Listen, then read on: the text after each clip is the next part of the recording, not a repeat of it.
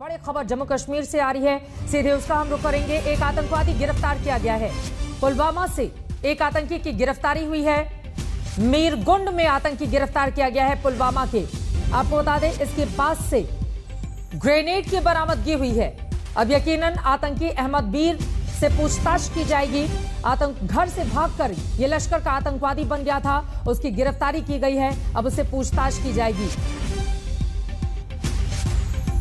पुलवामा से ये बड़ी जानकारी निकलकर सामने आ रही है। आपको बता दें कि वहाँ पर आतंकवादी अपने दायरे को बढ़ाने की कोशिश कर रहे थे, लेकिन सुरक्षा बलों को यह बड़ी कामयाबी मिली है। घर से भागकर आतंकवादी बना था लश्कर का ये शख्स, लेकिन इसको पुलवामा के मीरगुंड से गिरफ़्तार कर लिया गया है और अब इससे की जाएगी पूछताछ। आतंकी अहमद मीर के पास से ग्रेनेड की भी हुई है बरामदगी। जैसे और जानकारी मिलेगी, आप तक हम पहुंचाते रहेंगे।